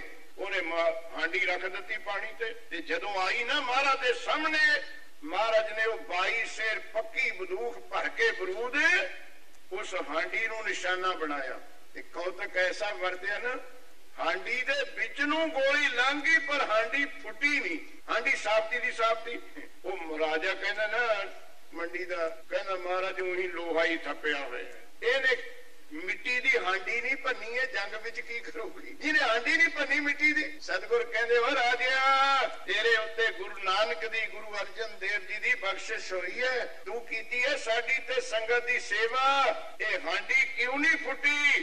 ਗੁਰੂ ਗੋਬਿੰਦ ਸਿੰਘ ਦਾ ਸ਼੍ਰੀ ਮੁਖ ਬਾਗ ਸੁਣਿਓ, ਜਿੱਥੇ ਸਵਈਏ ਵਿਚਾਰੇ ਨੇ ਮਹਾਰਾਜ ਕਹਿੰਦੇ, ਜੈਸੇ ਬਾਚੀ ਹੈ ਇਹ ਹਾਂਡੀ, ਤੈਸੇ ਬਚੇਗੀ ਤੇਰੀ ਮਾਂਡੀ। ਜੋ ਮਾਂਡੀ ਕੋ ਲੂਟेंगे ਅਸਮਾਨੀ ਗੋਰੇ ਛੂਟੇ ਇਹ ਮੰਡੀ ਨੂੰ ਵਰ ਦਿੱਤਾ ਗੁਰੂ ਗੋਬਿੰਦ ਸਿੰਘ ਸਾਹਿਬ ਨੇ ਸਾਰੀਆਂ ਰਿਆਸਤਾਂ ਵਿੱਚੋਂ ਕਿ ਜਿਸ ਤਰ੍ਹਾਂ ਹਾਂਡੀ ਬਚੀ ਹੈ ਨਾ, ਇਸ ਤਰ੍ਹਾਂ ਤੇਰੀ ਮੰਡੀ ਦਾ ਰਾਜ ਬਚਿਆ ਰਹੂਗਾ। ਜਿੱਥੇ ਆਖੋ ਸਤਿ ਔਰ ਜਿਹੜੇ ਤੇਰੇ ਮੰਡੀ ਪਰ ਚੜ ਕੇ ਆਉਣਗੇ ਲੁੱਟਣ ਉਹ ਤੈਨੂੰ ਗੋਲੀਆਂ ਚਲਾਉਣ ਦੀ ਲੋੜ ਨਹੀਂ। ਅਕਾਲ ਪੁਰਖ ਵੱਲੋਂ ਅਸਮਾਨ ਤੋਂ ਹੀ ਗੋਲੇ ਛੁੱਟ ਪੈਣਗੇ। ਇਹ ਵਰ ਅੱਜ ਤੱਕ ਕਾਇਮ ਹੈ। ਜਾ ਕੇ ਵੇਖੋ ਮੰਡੀ ਦੀ ਰਿਆਸਤ। ਦੋ ਰਿਆਸਤਾਂ ਹਿੰਦੁਸਤਾਨ ਵਿੱਚ ਕਾਇਮ ਨੇ। ਇੱਕ ਹਿਮਾਚਲ ਵਿੱਚ ਮੰਡੀ, ਇੱਕ ਪੰਜਾਬ ਵਿੱਚ ਮਲੇਰ ਕੋਟਲਾ। ਜਿਨ੍ਹਾਂ ਨੇ ਸਹਿਬਜ਼ਾਦਿਆਂ ਦਾ ਹਾਦਾ ਨਾਰਾ ਮਾਰਿਆ। ਉੱਥੇ ਵੀ ਸਾਰੇ ਮੁਸਲਮਾਨ ਉਸੇ ਤਰ੍ਹਾਂ ਬੈਠੇ ਨੇ। ਤੇ ਮੰਡੀ ਦਾ ਵੀ ਰਾਜਾ ਉਸੇ ਤਰ੍ਹਾਂ ਬੈਠਾ ਹੈ, ਗੁਰਸਿੱਖ ਪਿਆਰਿਓ। ਉਹ ਸਥਾਨ ਗੁਰੂ ਮਹਾਰਾਜ ਦਾ ਬਣਿਆ ਹੋਇਆ ਤੇ ਸਤਿਗੁਰ ਪਾਤਸ਼ਾਹ ਨੂੰ ਜਦੋਂ ਕਿਹਾ ਕਿ ਅਸੀਂ ਝੂਠ ਨਹੀਂ ਛਕਾਂਗੇ, ਨੀਵਿਆਂ ਦੇ ਨਾਲ ਨਹੀਂ ਛਕਾਂਗੇ, ਅਸੀਂ ਸੋਧੀਏ ਜੈਨੀਆਂ ਨੇ ਸਵਾਲ ਕੀਤੇ, ਬੋਧੀਆਂ ਨੇ ਸਵਾਲ ਕੀਤੇ, ਉਦੋਂ ਫਿਰ ਮਹਾਰਾਜ ਨੇ ਬਾਣੀ ਉਚਾਰੀ, ਆਓ ਕਿਰਪਾ ਕਰੋ ਸੰਗਤ, ਕਿਰਪਾ ਕਰਨ ਗੁਰੂ ਮਹਾਰਾਜ। ਅਗਾਧ ਬੋਧ ਬਾਣੀ ਗੁਰੂ ਗੋਬਿੰਦ ਸਿੰਘ ਮਹਾਰਾਜ ਜੀ ਦੀ ਪਹਿਲਾ ਸਵਈਆ, ਸਾਰੇ ਪਿਆਰ ਸਤਕਾਰ ਦੇ ਨਾਲ ਹਿਰਦੇ ਵਿੱਚੋਂ ਮਨ ਵਿੱਚੋਂ, ਆਤਮਾ ਵਿੱਚੋਂ ਇੱਕ ਵਾਰ ਗੱਜ ਕੇ ਆਖੋ, ਸਤਨਾਮ ਸ਼੍ਰੀ ਵਾਹਿਗੁਰੂ। ਪ੍ਰਸਾਦ ਸਵੇ, ਇੱਕ ਓੰਕਾਰ। ਸਤਿਗੁਰ ਪ੍ਰਸਾਦੇ, ਪਾਤਸ਼ਾਹੀ ਦਸਵੇਂ। ਧੰਨ ਧੰਨ ਸ੍ਰੀ ਗੁਰੂ ਗੋਬਿੰਦ ਸਿੰਘ ਮਹਾਰਾਜ।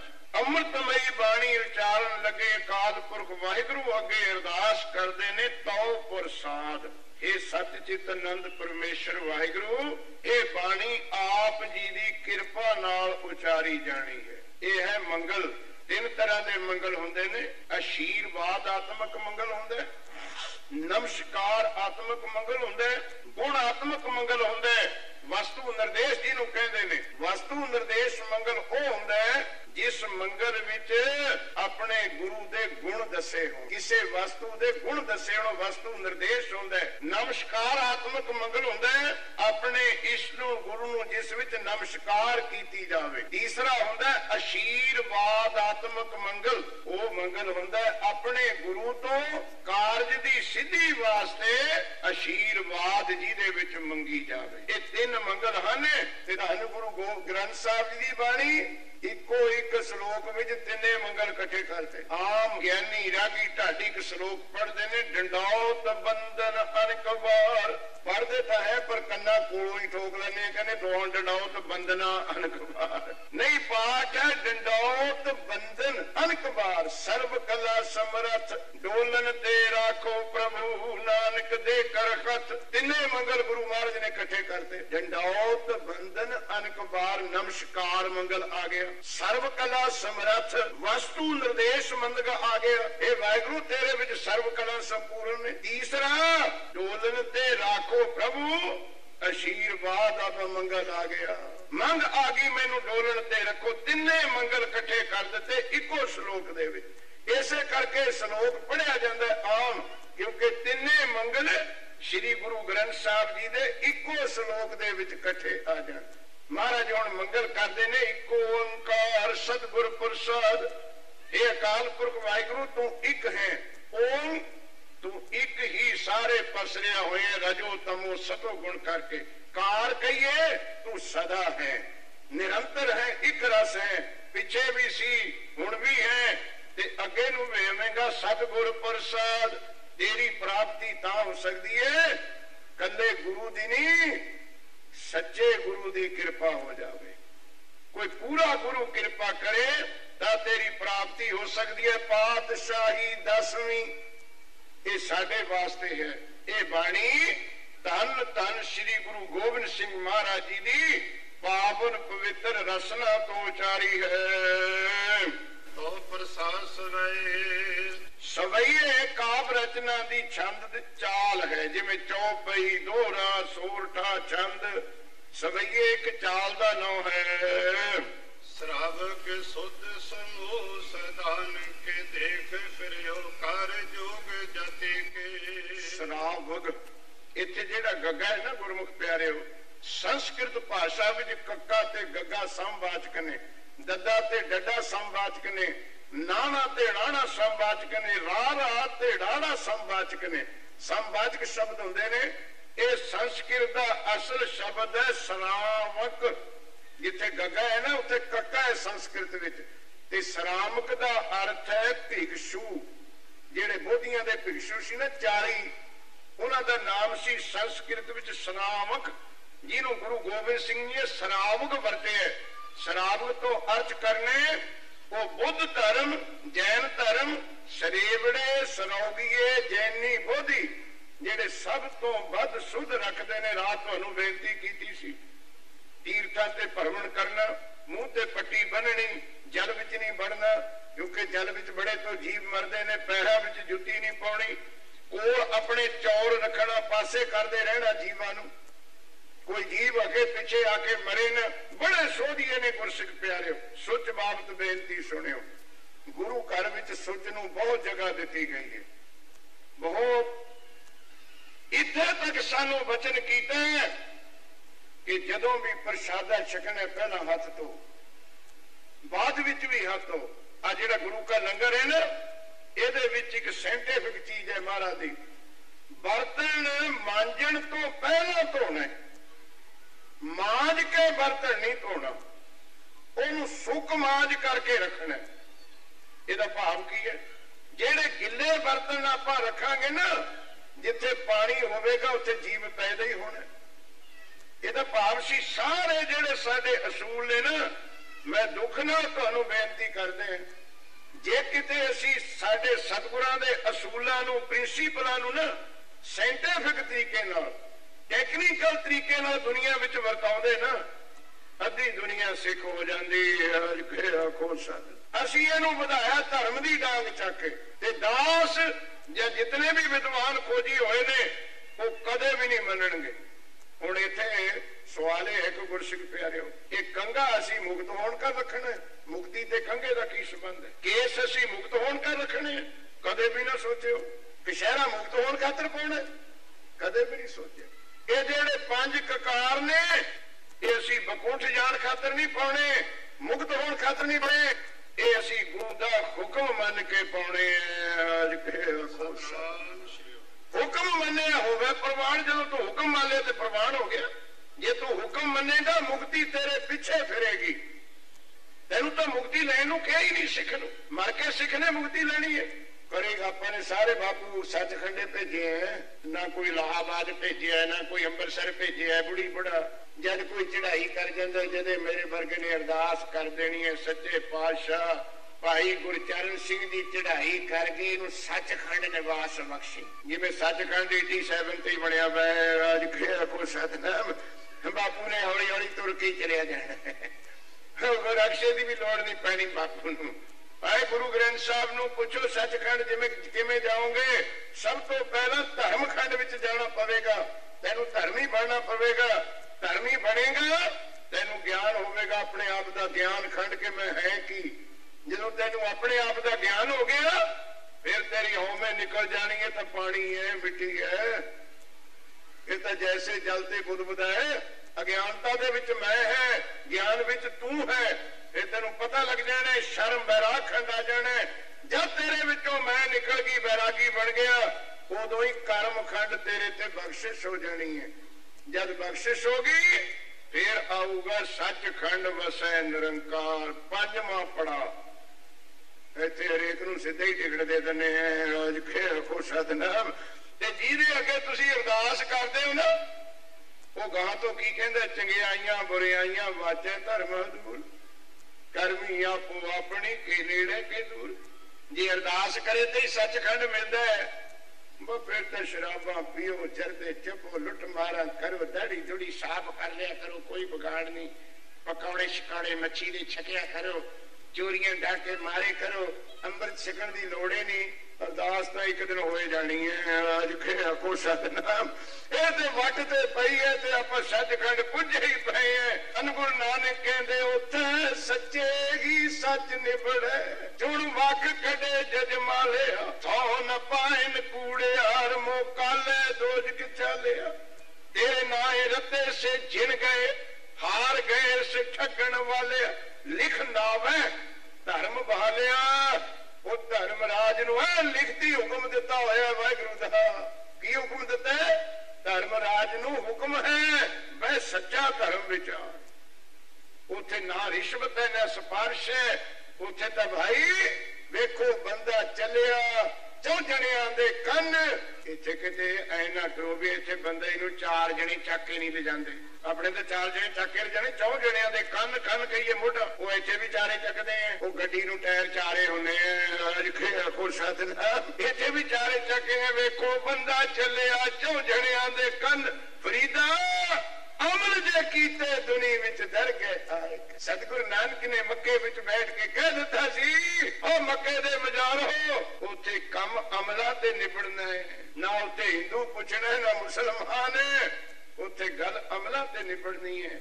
ਧੰਨ ਗੁਰੂ ਗੋਬਿੰਦ ਸਿੰਘ ਜੀ ਮਹਾਰਾਜ ਸ਼ਰਾਬਗ ਸ਼ਰਾਬੀਏ ਜੈਨੀ ਬੋਧੀ ਜਿਹੜੇ ਸੁੱਚ ਰੱਖਣ ਵਾਲੇ ਸੀ, ਸੁਧ ਸੋਧੀਏ। ਸ਼ਰਾਬਗ ਸੁਧ ਸਮੂਹ ਇੱਕ ਦੋ ਚਾਰ ਨਹੀਂ ਗੁਰੂ ਗੋਬਿੰਦ ਸਿੰਘ ਜੀ ਕਹਿੰਦੇ ਸਾਰੇ ਹੀ, ਕਿਉਂਕਿ ਇੱਕ ਮਤ ਥੋੜੋ ਇੱਥੇ ਸਿੱਧਾਨ ਜਿਨ੍ਹਾਂ ਨੇ ਬੜੀਆਂ ਬੜੀਆਂ ਸਿੱਧੀਆਂ ਪ੍ਰਾਪਤ ਕੀਤੀਆਂ, ਸਿੱਧੀਆਂ ਦੇ ਆਨ ਆਨ ਕਹੀਏ ਘਰ ਸ਼ਰਾਬ ਵਿਸ਼ੁੱਧ ਸਮੂਹ ਸਿਧਾਨ ਕੇ, ਦੇਖ ਫਿਰੇ ਉਹ ਘਰ ਘਰ ਕਹੀਏ ਡੇਰੇ, ਅਸਥਾਨ, ਉਹਨਾਂ ਦੇ ਮਠ, ਦੇਖ ਫਿਰੇ ਉਹ ਘਰ, ਇਹਨਾਂ ਦੇ ਸਿੱਧਾਂ ਦੇ, ਸੋਧੀਆਂ ਦੇ ਜੋਗ ਜਤੀ ਕੇ ਜੋਗੀਆਂ ਦੇ ਵੀ ਵੇਖੇ ਅਸੀਂ। ਛੇ ਜਤੀ ਮਾਇਆ ਕੇ ਬੰਦਾ ਛੇ ਜਤੀ ਅੱਜ ਤੱਕ ਮੰਨੇ ਸਾਰੀ ਸ੍ਰਿਸ਼ਟੀ ਵਿੱਚ ਛੇ ਜਤੀ ਹੋਏ ਨੇ, ਬਾਬਾ ਨਾਨਕ ਨੇ ਖੁੱਲੇ ਕਰਤੀ ਬਾਬਾ ਨਾਨਕ ਕਹਿੰਦਾ, ਮੇਰੇ ਸਿੱਖ ਸਾਰੇ ਜਤੀ ਨੇ। ਕਿਹੜੇ? ਏਕਾ ਨਾਰੀ ਸਦਾ ਜਤੀ, ਪਰ ਨਾਰੀ ਧੀ ਭੈਣ ਬਖਾਣ ਉਹ ਛੇ ਨੂੰ ਚੱਕੀ ਫਿਰਦੇ ਨੇ। ਬਾਬਾ ਨਾਨਕ ਕਹਿੰਦੇ, ਮੇਰੇ ਗੁਰਸਿੱਖ ਸਾਰੇ ਜਤੀ ਹੋਣਗੇ। ਜਿਹਨਾਂ ਦਾ ਜੀਵਨ ਸਮਾਜਿਕ ਜੀਵਨ ਕਰੈਕਟਰ ਉੱਚਾ ਹੋਵੇਗਾ ਪਰ ਨਾਰੀ ਧੀ ਭੈਣ ਵਿਖਾਣੇ ਦੇਖ ਪਰਾਈਆਂ ਚੰਗੀਆਂ ਧੀਆਂ ਭੈਣਾਂ ਮਾਵਾਂ ਜਾਣੇ। ਉਹ ਸਾਰੇ ਜਤੀ ਹਨ ਸਿੱਖ ਧਰਮ ਦੇ ਵਿੱਚ। ਮਹਾਰਾਜ ਕਹਿੰਦੇ ਅਸੀਂ ਸਰੇਬੜੇ ਵੇਖੇ, ਸੋਧੀਏ ਵੇਖੇ, ਜੈਨੀ ਵੇਖੇ, ਬੋਧੀ ਵੇਖੇ, ਅਸੀਂ ਸਿੱਧੀਆਂ ਦੇ ਮਾਲਕ ਵੇਖੇ, ਅਸੀਂ ਜੋਗੀਆਂ ਦੇ ਡੇਰੇ ਵੀ ਵੇਖੇ, ਅਸੀਂ ਜਤੀਆਂ ਦੇ ਆਸ਼ਰਮ ਵੀ ਜਾ ਕੇ ਵੇਖੇ। ਸੂਰ ਸੁਰਹਦਨ ਸੁਧ ਸਦਾਇ ਕੇ ਸੰਤ ਸਮੂਹ ਅਨੇਕ ਮਤੀ ਕੇ। ਸੂਰ ਕਹੀਏ ਸੂਰਮੇ ਸੁਰਾਰਦਨ ਦਾ ਅਰਥ ਹੈ ਸੁਰ ਅਰਦਨ ਸੁਰ ਕਹੀਏ ਦੇਵਤੇ ਅਰ ਕਹੀਏ ਉਹਨਾਂ ਦੇ ਦੁਸ਼ਮਣ। ਸਰੂਰ ਸੁਰਾਰਦਨ ਦਾ ਅਰਥ ਕਰਨੇ ਦੇਵਤਿਆਂ ਦੇ ਵੈਰੀ। ਉਹ ਕੌਣ ਰਾਖਸ਼? ਮਹਾਰਾਜ ਕਹਿੰਦੇ ਅਸੀਂ ਦੇਵਤਿਆਂ ਦੇ ਮਠ ਵੀ ਵੇਖੇ। ਦੇਵਪੁਰੀਆਂ ਵੀ ਵੇਖੀਆਂ, ਅਸੀਂ ਰਾਖਸ਼ਾਂ ਦਾ ਲੋਕ ਵੀ ਜਾ ਕੇ ਵੇਖਿਆ। ਸੂਰ ਸੁਰਾਰਦਨ ਸੁਧ, ਸੂਰ ਅਰ ਅਰ ਪਾਠ ਬਹੁਤ ਵਾਰ ਆਇਆ ਬਾਣੀ ਵਿੱਚ। ਜਪ ਸਾਹਿਬ ਵਿੱਚ ਪੜ੍ਹਦੇ ਹੋ ਕਾਰੋ ਨਾਲੇ ਹੈ, ਅਰ ਘਾਲਿਆ ਹੈ। ਅਰੀ ਜਿੱਥੇ ਪਾਠ ਆ ਜਾਵੇ, ਉੱਥੇ ਕਹੀਏ ਦੁਸ਼ਮਣ। ਅਸੀਂ ਦੇਵਤਿਆਂ ਦੇ ਮਠ ਵੀ ਵੇਖੇ, ਪੁਰੀਆਂ ਵੇਖੀਆਂ।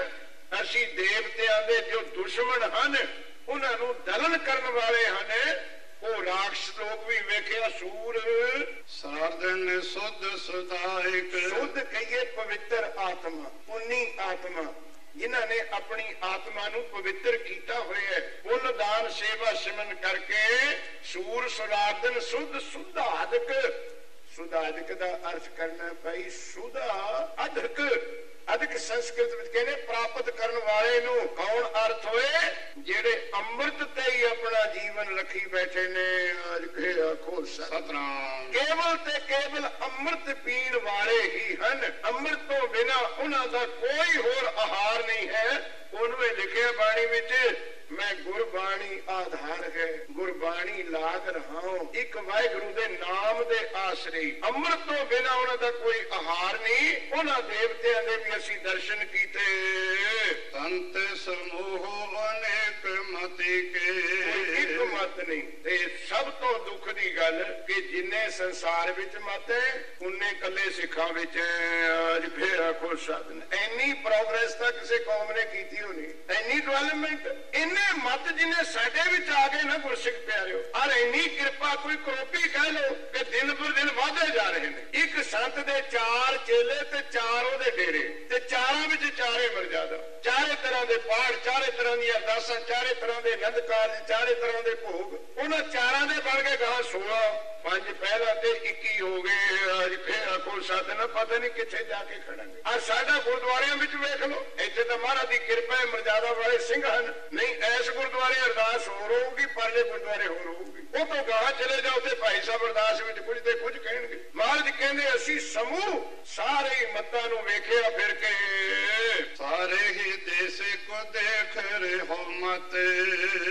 ਸਾਰੇ ਦੇਸ਼ ਦੇ ਮਤ ਸਾਰੇ ਹੀ ਦੇਸ਼ ਕੋ ਸਾਰੇ ਦੇਸ਼ਾਂ ਵਿੱਚ ਜਿਤਨੇ ਵੀ ਮਤ ਹਨ ਕੋ ਨ ਦੇਖਤ ਆਨ ਮਤ ਕੇ? ਕਾਨ ਪਤੀ ਕੇ? ਪਤੀ ਕੇ। ਪਰ ਗੁਰੂ ਗੋਬਿੰਦ ਸਿੰਘ ਸਾਹਿਬ ਦਾ ਫੈਸਲਾ ਮੈਂ ਸਾਰੇ ਮਤਾਂ ਨੂੰ ਘੋ ਕੇ ਵੇਖਿਆ ਪ੍ਰਾਨ ਪਤੀ ਕੇ ਇਹਦਾ ਅਰਥ ਲੈਣਾ ਭਾਈ, ਮੈਨੂੰ ਕੋਈ ਨਹੀਂ ਲੱਭਿਆ ਉਹਨਾਂ ਵਿੱਚੋਂ ਜਿਹੜਾ ਪ੍ਰਾਣਾ ਦੇ ਪਤੀ, ਪ੍ਰਾਣਾ ਦੇ ਮਾਲਕ ਵਾਹਿਗੁਰੂ ਨੂੰ ਮਨਾਉਣ ਦੀ ਗੱਲ ਕਰੇ।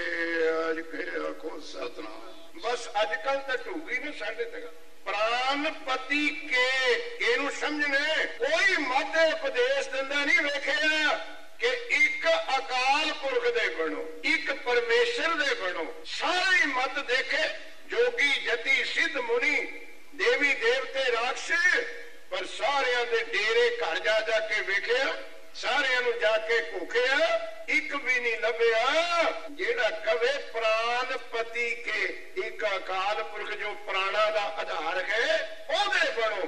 ਤੇ ਕੀ ਸੁਣਿਆ ਉੱਥੇ ਜਾ ਕੇ? ਬਸ ਮੇਰੇ ਡੇਰੇ ਆ ਜਾਓ, ਅੱਜ ਫਿਰ ਆਖੋ ਸਦ। ਐਸੇ ਤਾਂ ਹੋਰੇ ਕੰਮ ਚੱਲ ਪਿਆ ਕੀ ਕਹੀਏ ਗੁਰਸਿੱਖ ਪਿਆਰਿਓ? ਕੋਈ ਨਾਰਾਜ਼ਗੀ ਨਾ ਕਰਿਓ, ਕੋਈ ਆਲੋਚਨਾ ਨਾ ਸਮਝਿਓ, ਕੋਈ ਨਿੰਦਿਆ ਨਾ ਸਮਝਿਓ। ਉਹ ਚੌਕੀਦਾਰ ਨਹੀਂ ਹੋ ਸਕਦਾ। ਜਿਹੜਾ ਅੱਧੀ ਰਾਤ ਜਾ ਕੇ ਹਾਕ ਨਾ ਦਵੇ ਕਿ ਜਾਗਦੇ ਰਹੋ। ਉਹ ਚੌਕੀਦਾਰ ਕਰ ਅਸੀਂ ਜਿਹੜੇ ਪ੍ਰਚਾਰਕ ਹੈ ਤੇ ਸੰਤ ਨਹੀਂ ਬਣਨਾ ਚਾਹੀਦਾ।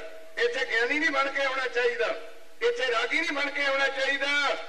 ਅਸੀਂ ਗੁਰਮਤ ਦੇ ਚੌਕੀਦਾਰ ਬਣ ਕੇ ਆਈਏ। ਤੇ ਜਿਹੜੀ ਗਫਲਤ ਵਿੱਚ ਸੁੱਤੀ ਹੋਵੇ ਕੌਮ, ਸੰਗਤ ਜਿਸ ਤੋਂ ਜਿਸ ਕੁਰਾਹੇ ਪਏ ਹੋਣ ਗੁਰਮਤ ਨੂੰ ਛੱਡ ਕੇ, ਉਹਦਾ ਹੋਕਾ ਦੋ ਗੁਰਮਤ ਦਾ, ਕਿਸੇ ਦੇ ਗਿੱਟੇ ਲੱਗੇ, ਗੋਡੇ ਲੱਗੇ।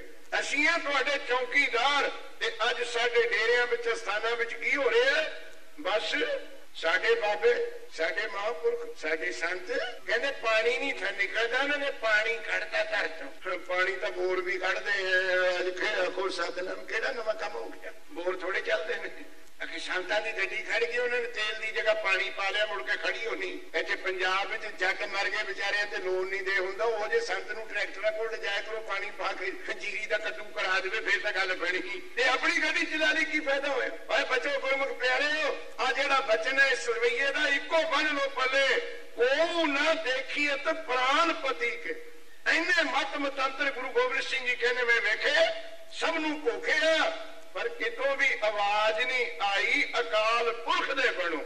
ਤੇ ਅੱਜ ਮੈਂ ਬੇਨਤੀ ਕਰਦਾ ਤੁਹਾਨੂੰ, ਜੇ ਅੱਜ ਦੇ ਸੰਤ, ਜੇ ਅੱਜ ਦਾ ਪੰਥ ਦੋਵੇਂ ਰਲ ਕੇ ਪ੍ਰਚਾਰ ਇਹ ਕਰਨ ਲੱਗ ਜਾਂਦੇ, ਸ੍ਰੀ ਗੁਰੂ ਗ੍ਰੰਥ ਸਾਹਿਬ ਦੇ ਬਣੋ, ਤੇ ਸੁਪਨਾ ਸਿੱਧ ਹੋ ਜਾਂਦਾ, ਰਾਜ ਕਰੇਗਾ ਖਾਲਸ। ਸੰਤ ਤਾਂ ਢੋਲਕੀ ਚੱਕੀ ਮਿਲਦਾ, ਲੂਲੋ ਦੇ ਬਣੋ, ਰਾੜੇ ਦੇ ਬਣੋ, ਕਲੇਰਾਂ ਦੇ ਬਣੋ, ਭਿੰਡਰਾਂ ਦੇ ਬਣੋ।